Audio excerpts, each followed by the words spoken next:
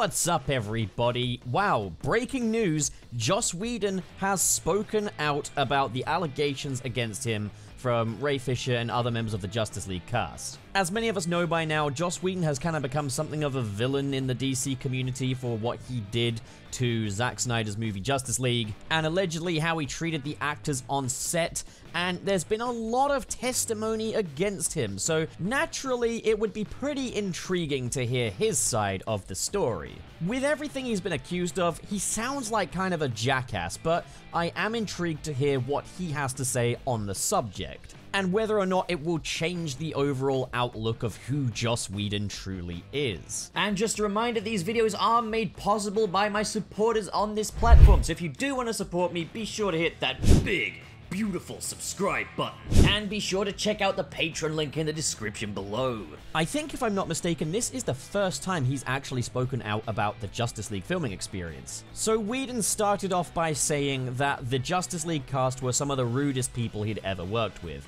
All right, good start. Acting like a victim. That's that. That's gonna. That's gonna do it. That's that's gonna win you all the goodwill in the world. He also said that he resents Snyder fans for kind of turning the entire internet against him, and he kind of said there's a symmetry in how the early internet built him up and the modern internet tore him down. Okay, yep, that that is that is pretentious in true Whedon fashion. I kind of feel like, though, when you molest a director's movie in the way that Joss Whedon did, I, feel like the Zack Snyder fans, or just people that like movies that are, you know, not Joss Whedon's disastrous Justice League recut, they got every right to speak out. I have kind of questioned how much control did Joss Whedon have? Well, in the way he's addressed some of the allegations against him, we actually have some details. Yes, it was him who decided to cut Ray Fisher's role down. And the reasons that Joss Whedon gave were that A, Ray Fisher's a bad actor, and his performance was flat, and B, that the story made no sense. Now, if he had said this prior to the release of the Snyder Cut, I'd think, you're kind of a jackass for saying that publicly, but okay, maybe that's how you feel about it. M maybe it didn't make a lot of sense. Maybe it did need a recut. But I've seen the Snyder Cut. The world has seen the Snyder Cut. And I think that Ray Fisher's performance was pretty universally praised. Sorry, Whedon, I know you've got industry experience and all, more than I have, but if you think that Ray Fisher's performance in that movie was bad, then you don't know what a bad performance is. What a great way to address the claims.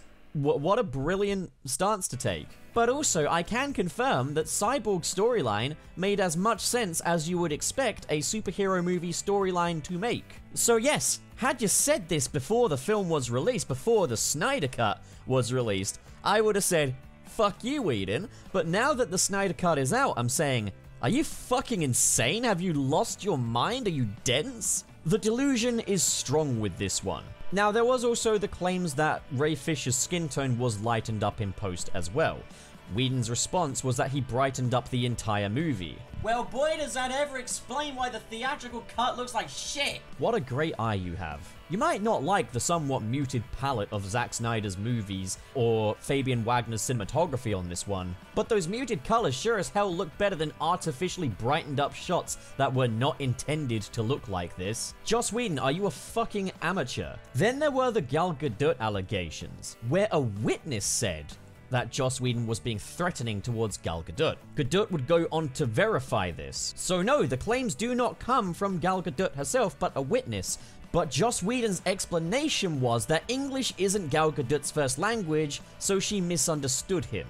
Do you have any idea how patronizing it is to basically dismiss a person whose first language isn't English, to, to, to dispute their claims based on their first language not being English? Gal Gadot clearly has some grasp of the English language, so to assume it was misunderstood just based on a language barrier, there's no filmmaker politics there, that's just being a decent fucking human being towards people whose first language isn't English. Apparently, this was in response to Gal Gadot asking him to cut out a specific scene, and I think we can all guess which one it is, but I don't want to assume stuff. Whedon says what he said was that if Gal Gadot wants him to remove that scene, she'll have to tie him down to a railroad. And that she misinterpreted this as he's gonna tie her down to a railroad, when that wasn't even remotely the claim. But it's like, yeah, you're, talking about the Justice League allegations, but are we not forgetting all of the allegations from the cast members of the Buffy series and Angel? Sorry, Joss Whedon, but the testimonies stack up against you. And from my perspective anyway, the way he's reacted to this has really only further validated those accusations. Which means that in this court of public opinion, Joss Whedon is a certified fuckhead. There you have it, folks. I, I don't see how anyone can side with him at this point because he's just shown no decency throughout this entire process. He's acting like a little fucking victim while clearly trying to gaslight the situation and saying things that anyone can easily dispute. Fuck you, Joss Whedon. The world doesn't need any more people like you. Don't let the door hit you on the way out. Actually, maybe do, because looking at you, I think the door's the only thing that would ever want to hit that. So what do you guys think? If you enjoyed this video and you want to support more like it, be sure to hit that big, beautiful subscribe button. And of course, in the description below are links to different social media feeds, including the Patreon. If you're feeling extra generous like the following people, who are JK Strife, Marcus Ward, Sirius the Skeptic, Biotin Arts, Mr. SP, David 20 Covers, Sergio, George is Lost, Legendary Ray Ray, Cheesemaster769, Adam Myers, and Fayalan Schwarzentraub. Thank you guys, you are the best of the best, but as for the rest of you, thank you so much for watching guys, and have a great day.